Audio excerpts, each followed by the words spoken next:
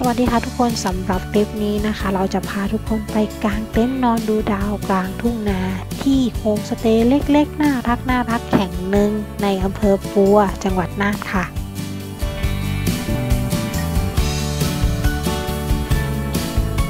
เดี๋ยวขอเวลากางเต็นท์กันสักแป๊บหนึ่งนะคะ แล้วก็จะพาไปชมบรรยากาศรอบๆที่พักกันค่ะ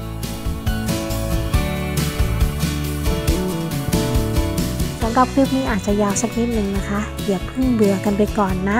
อยากให้เพื่อนๆได้ชมบรรยากาศที่นี่จริง ๆ ค่ะ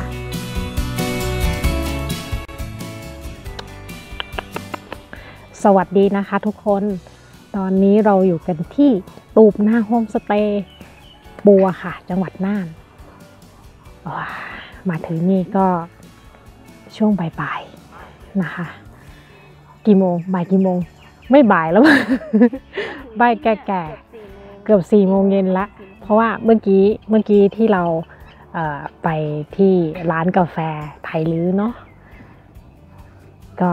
พอมาถึงแล้วก็กางเต็นท์ค่ะ เดี๋ยวมาดูภาพบรรยากาศกันนะ เพราะว่าเออปกตินะคะตูบนาโฮมสเตย์เนี่ยเออจะเป็นวิวทุ่งนาเนาะเป็นวิวทุ่งนารอบๆเลยค่ะ สวยงามมากเลยแต่ว่า หน้านี้เป็นหน้าแรงนะคะ ดังนั้นเนี่ยตอนนี้เขาไม่ได้ทำนา ก็เป็นพืชหมุนเวียนนะคะ แต่ก็บรรยากาศก็สวยอยู่นะ ตอนกลางวันอาจจะร้อนนิดนึงนะคะ เพราะว่าเไม่ใช่ช่วงหน้าฝนแล้วก็แต่ช่วงเย็นเนี่ยอากาศเย็นเลยทีเดียวนะคะ ค่อนข้างเย็นเลยละเดี๋ยวพาลงไปดูข้างล่างค่ะว่าพืชหมุนเวียนที่เขาทำหลังจากที่ ที่ไม่ไม่ไม่ไม่ได้ทำนาในช่วงนี้นะคะ แล้วก็ปลูกพืชหมุนเวียนแทนนี่ก็จะมีพวกดอกไม้อะไรต่างๆนะคะ แล้วก็บรรยากาศเป็นยังไงบ้าง สวยสวยสวยไปดูกันเลย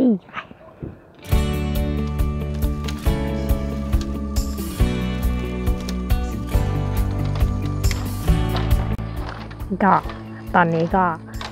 เริ่มเย็นแล้วนะคะ แดดร่มแล้วเขาก็ มาเดินเริ่มมาเดินเล่นภายในรีสอร์ทแล้วนะคะนู่น เรากางเต็นท์ตรงนู้นนะคะ แล้วก็อันนี้ก็เป็นบรรยากาศภายในรีสอร์ท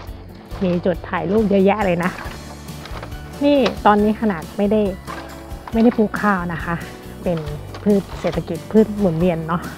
แล้วก็มีแปลงดอกไม้ด้วยนะคะ แปลงดอกไม้เยอะแยะเลย สวยมากๆบรรยากาศดีจังเลย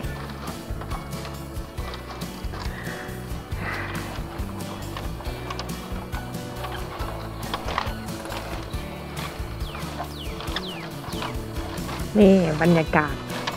ตูบนาโฮมสเตย์นะคะ ก็อันนี้ก็เป็นบ้านพักนะคะ ตรงนี้พันหกนะ หลังละพันหกสองท่านเนาะเราได้สองท่านนะคะ หลังละพันหกมีอยู่แค่สี่หลังเอง แล้วก็มีบ้านพักแบบเนี้ยแบบนี้นะคะ เดี๋ยวเดี๋ยวจะไปถ่ายด้านหน้าให้ดูนะคะ สวยมากๆเลยนะ แบบนี้นี่ พันสองเนาะ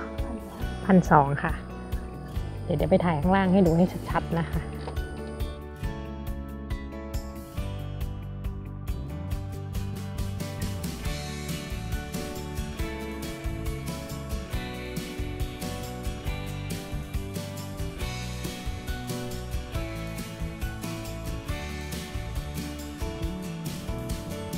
นี่นะวันนี้เรานอนตรงนี้แล้วดู วิวด้านหน้าเรานะ วิวด้านหน้าเรา นี่นะ วิวด้านหน้าเรา วันนี้แหละ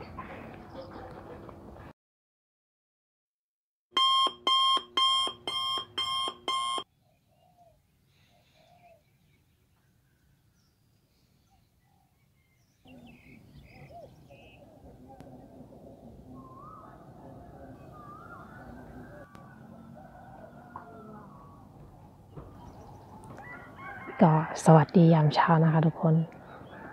ตอนนี้ก็ประมาณหกโมงกว่าๆนะคะ เกือบเจ็ดโมงแล้ว ตอนเช้าอากาศดีมากเลยค่ะ เราอยู่กันที่บ้านตูบนาโฮมสเตย์เนาะปัวจังหวัดน่านค่ะ อากาศดีมากๆนะคะ เดี๋ยวมาดูบรรยากาศตรงหน้าแล้วนะ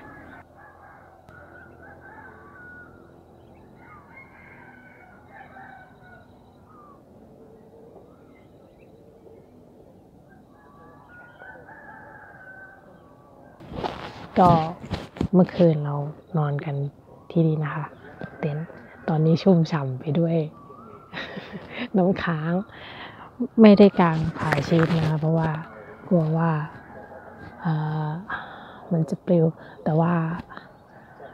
ไม่คิดว่ามันจะมีน้ำค้างเยอะนะคะ เพราะว่าอากาศตอนช่วงบ่ายที่เรามาถึงเนี่ยมันค่อนข้างที่จะร้อน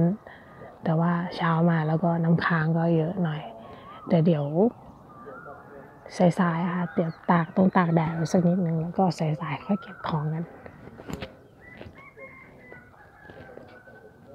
ก็อันนี้ก็เป็นบรรยากาศตอนเช้านะคะ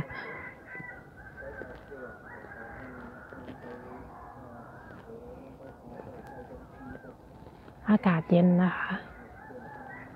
อากาศเย็นเลยอะเมื่อคืนนี้ก็ เย็นมากนะคะ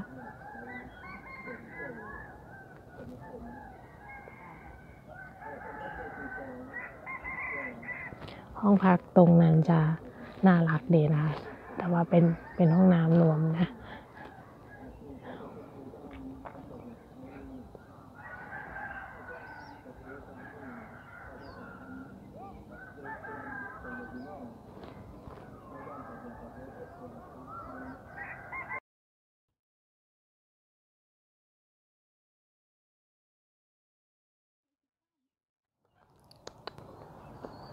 สวัสดีค่ะทุกคน พี่เจจาก NJ Channel ไทยนะคะ ตอนนี้ทุกคนกำลังชม NJ Channel ไทยใน YouTube อยู่นะคะ ก็ตอนนี้เราอยู่กันที่ตูบนาโฮมสเตย์นะคะอำเภอปัว จังหวัดน่านค่ะ น่านนคร ทุกคนจะรู้จักจังหวัดน่าน จากภาพวาด หมู่บ้านยามานนะคะกระสิบหลักบรรลือโลกแม่วันนี้เราก็มาพักกันที่โฮมสเตย์ค่ะ บรรยากาศดีมาก ๆนะคะ ก็คือต้องเล่าให้ฟังก่อนนะว่า ตอนแรกเนี่ย เราไม่ได้วางแผนจะมาที่นี่นะ คือเออรู้แล้วละว่าอาจจะต้องมาที่จังหวัดน่านนะคะ ก็คิดอยู่ว่า เดี๋ยวจะไปพักกันที่บ่อเกลือนะคะ แต่ว่าพอมาถึงเข้าจริงๆเนี่ยก็ search ในรีวิวต่างๆนะคะ แล้วก็ดูในอินเทอร์เน็ตโซเชียลนี่แหละนะคะ ก็ก็เออ มันมีที่นี่อีกที่หนึ่งเนาะที่ปัวก็น่าเที่ยว แล้วก็มีอ่าจุดแวะเที่ยวถ่ายรูปหลาย ๆ จุดนะคะ ก็เลยเพิ่มมาในจุดที่เราจะจะแวะด้วยนะคะ ดังนั้นเนี่ยเราก็ก็ได้มาพักที่นี่นะคะ ก็ก็เห็นแล้วเนาะบรรยากาศเราเราก็นอนเต็นท์กันเนาะเออเรานำเต็นท์มาเองนะคะกลางเต็นท์ที่นี่เขาคิดคนละ 200 บาทนะคะรวมอาหารเช้าด้วยนะ 200 บาทรวมอาหารเช้า ในกรณีที่ไม่ได้นำเต็นท์มานะคะเขาก็มีทั้งเต็นท์แล้วก็ที่พักให้บริการด้วยนะ เต็นท์ที่นี่เขาจะคิดท่านละ 400 บาทนะคะ ก็มีทั้งเต็นท์แล้วก็เครื่องนอนพร้อมนั่นแหละนะคะ แล้วก็มีห้องพักนะคะ ห้องพักก็จะมีแบบแบบที่เป็นกระโจมนะคะที่เห็นที่เห็นในในรีวิวที่เรารีวิวให้ดูนะคะ ก็จะตกหลังละ 1,200 บาทนะคะ แล้วก็มีเป็นบ้านพักนะคะ บ้านพักก็จะอยู่ที่ 1,600 บาทนะคะ ก็บรรยากาศดีมากๆค่ะ ถ้าใครมาที่ปัวนะคะ ก็ลองมาแวะพักดูนะเอ่อถ้าเป็นช่วงหน้าฝนฤดูดูฤดูทำนานะคะ ที่นี่เขาก็จะเป็นทุ่งนาเลยนะเวิ้งว้างกว้างไกลด้านหลังนี่แต่ช่วงนี้ไม่ใช่ไม่ใช่ฤดูทำนานะคะ ก็เลยเป็นพืชหมุนเวียนนะคะ ก็สวยงามไปอีกแบบหนึ่งมีทุ่งหญ้าสูงตรงนั้นด้วยเราเก็บภาพบรรยากาศมาค่ะ มาให้ได้ชมกันเช้าเช้าๆอย่างนี้บรรยากาศดีมากเลยนะคะ ตอนนี้ก็อยู่ที่ราวๆ 17ถึง18 องศานะคะ มีหมอกขึ้นด้านหลังเนาะตรงตรงตรงเขาที่เราเห็น เขาด้านหลังที่เราเห็นนี่ก็คือเอ่ออุทยานแห่งชาติดอยภูคานะคะ เดี๋ยวเราจะไปที่นู่นกันด้วยนะอ่อบรรยากาศดีค่ะ อากาศเย็นมาก เมื่อคืนนี้ก็จะอยู่อ่าอุณหภูมิก็จะอยู่เลขหลักหลักสิบเย็นดีค่ะ เย็นดี นอนเต็นท์ด้วยก็ยิ่งเย็นหน่อยนึงนะแต่ตอนนี้เต็นท์เราชุ่มฉ่ำไปด้วยน้ำค้างเลยแต่อีกสักพักหนึ่งนะคะ เดี๋ยวสายๆถึงจะเก็บได้รอให้มันมันแห้งสักนิดหนึ่งแล้วค่อยแล้วค่อยเก็บของกันนะคะ เดี๋ยวก็เช้านี้ก็นั่งเล่นกันสักแป๊บหนึ่งค่ะ ไปทำธุระส่วนตัวแล้วก็อาจจะทานอาหารเช้านะคะพอเป็นไม่ให้บรรยากาศดีค่ะ พอเห็นบรรยากาศดีๆ ก็อยากจะมานั่งคุยนะคะ บอกเล่าประสบการณ์ให้ฟังนะคะ แล้วก็เพื่อเป็นแนวทางว่าใครจะมาอ่าเที่ยวการสนใจหรือว่าหาข้อมูลอยู่ว่า เฮ้ยจะมายังไง บรรยากาศเป็นยังไงนะคะ เราก็เราก็เก็บภาพมาให้ได้ชมกันแล้วล่ะครั้นี้ก็เป็นดุลพิดุลและพินิจของเพื่อนๆแล้วนะคะว่า จะตัดสินใจยังไง ที่นี่จริง ๆแล้วก็มีรีสอร์ทนะคะ บ้านพักหลายๆที่นะ ถ้า search มาในอินเทอร์เน็ตก็ก็น่าจะเห็นกันอยู่นะคะ ใกล้ๆนี้ตรงด้านหลังนี้นะคะ ก็จะเป็น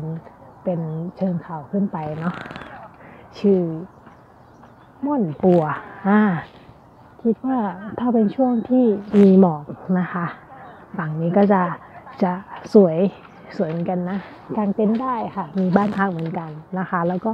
ด้านหน้าฝั่งด้านหน้ารีสอร์ทก็จะจะจะเห็นอยู่มีที่พักหลายที่นะคะ สำหรับการเดินทางมานะคะ ก็เป็นการเดินทางครั้งแรกของเราเหมือนกันที่มาที่นี่เนาะอืมก็เปิด GPS อะค่ะพิกัด GPS ที่นี่ไม่ผิดนะคะ ก็เปิดตาม GPS มาเลยก็มาที่นี่อะค่ะ แต่ว่าทางที่จะเลี้ยวเข้ามาหลังจากเข้าหมู่บ้านมาแล้วเนาะมันก็จะมีทางเลี้ยวเข้ามานิดนึงอาจจะงงๆนิดนึง เพราะว่ามันมีสองเส้นเป็นเป็นเป็นทางลูกลังแต่ว่าไม่ได้ไม่ได้ไม่ได้ออฟโหลดมากนะคะ รถเก่งก็เข้ามาได้ เพราะว่าทางดีอยู่เหมือนกัน แต่เป็นทางทางดินแดงๆนั้นขับขับมาแต่มันจะมีป้ายบอกอยู่แต่จะงงๆนิดนึงแต่ขับตรงมาเรื่อยๆค่ะ ทั้งทั้งสองทางตรงเนี้ยมันจะแยกเป็นคูน้ำตรงกลางดังนั้นเนี่ยก็ขับมาได้ทั้งสองทางนะคะเลี้ยวซ้ายเข้ามาได้เลยหลังจากเลยหมู่บ้านเข้ามาแล้วนะคะ ก็สนุกดีค่ะ บรรยากาศดีมากเช้าอากาศเย็นๆก็เก็บภาพบรรยากาศมาฝากกันนะคะ เดี๋ยว เดี๋ยวเราก็จะไปทานข้าวกันละ